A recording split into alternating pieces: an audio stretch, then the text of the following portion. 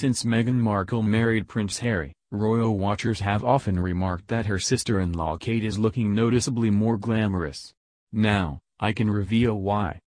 The Duchess of Cambridge has secretly drafted in a talented stylist who has been advising her on her wardrobe. Out go the stiff coat dresses and home counties lady look. In comes a more modern, sleek style, such as the 800 pounds Gucci pussy bow blouse and wide-legged trousers she wore for an engagement earlier this month. Her new advisor is Virginia Chadwick Healey, an aristocratic 36-year-old former editor at Vogue magazine. Known as Ginny, she is an old friend of Prince William and Kate, and attended their wedding at Westminster Abbey in 2011. Ginny is Catherine's secret weapon, a royal source tells me. She has made a big difference to the Duchess's wardrobe for public engagements and has helped give her a whole new sense of confidence. Catherine has been really impressed and is very grateful for her help. Ginny is the daughter of the third Lord Strathalmond and has two daughters, Nancy, 4, and Maggie, 2, with her old Etonian husband, Oliver Chadwick Healey. Ginny and Ollie were at St Andrews University with William and Kate, and both women studied history of art. Natasha Archer, who usually helps Kate with her wardrobe, is presently on maternity leave. Ginny, who left Vogue in 2018 after 12 years, wrote about her experience at William and Kate's wedding.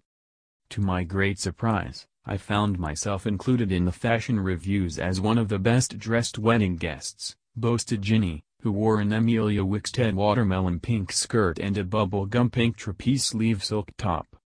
Royal protocol had to come first, but I wanted to feel like I had an identity amid the sea of celebrities, friends, military personnel, foreign members of state and, of course, the royal family. But she added, to my mother's horror, I didn't wear tights. How very daring. F1's Lewis still single-minded. He courted Pussycat Dolls singer Nicole Scherzinger for eight years and has been linked to her fellow pop stars Rihanna and Rita Ora, but Formula One champion Lewis Hamilton will not be settling down just yet, according to his father. Anthony Hamilton, who made huge sacrifices to support his son's talent for motor racing, tells me, I don't think Lewis is the marrying kind and he seems almost to have given up hope that Lewis, 34, will provide him with a grandchild. It would be nice to have some grandkids, says Anthony. Hopefully, he will get married and give me some one day, but I can't see that happening anytime soon. Even Jodie's man didn't recognize her. Jodie Kidd's natural blonde hair played as much a part in her rise to modeling stardom in the 90s as her razor-sharp cheekbones. Now, the 40-year-old has ditched one of her trademark features, by dyeing her wavy locks chocolate brown. It's something I've wanted to do my whole life, but I've always been petrified, she confides at the Essentiel Antwerp store launch party in Sloane Square. Jodie showed off her new look, teamed with a yellow jacket and floral dress. Jokingly, she adds, maybe it's a midlife crisis? Her boyfriend, the dashing former Royal Marine Joseph Bates, is struggling to adjust to the new look Jodie. He was picking me up earlier today. I said on the phone, I'm crossing the King's Road now, and had to say, you're literally driving past me. He slammed on the brakes and was like, oh, my god. He didn't recognize me at all. But he loves it. Britain's best-known high street tycoon, Sir Philip Green, seems to have quit this country. I can reveal the Topshop owner has not spent a single day in the UK this year and has told friends he might never return. He feels he's been treated appallingly and has no desire to come back, one of the billionaire's chums tells me. He doesn't want to be in Britain if he's not wanted here. The roly-poly retailer has faced allegations, which he strongly denies, that he bullied and sexually harassed staff. There were also calls for him to be stripped of his knighted over his sale of BHS for £1 to a multiple bankrupt with no shop experience.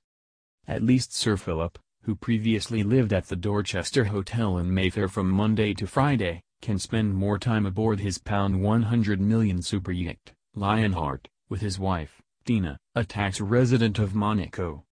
Prince Philip turns 98 in June and has retired from royal duties but he is nevertheless lending his name to a cause close to his heart.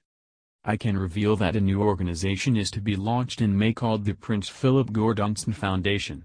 It will raise money for scholarships at the Scottish boarding school where he and the Queen sent their children. Princess Anne will speak at the launch party, a courtier tells me. It's possible that the Duke of Edinburgh will also attend, but we won't know until nearer the time. The Smart Set's talking about Arty bikini heiress Alaia. Melissa Odabash's stylish swimwear is worn by everyone from Pippa Middleton to the Kardashians, and now her daughter, Alaia DeSantis, has designs on the art world. Although still in her second year at Camberwell Art College, Alaia's 60s-inspired collages are selling for hundreds of pounds. I've put a hold on sales because I'm planning my first solo exhibition in London this year, she tells me. I want everyone to be able to view them properly first.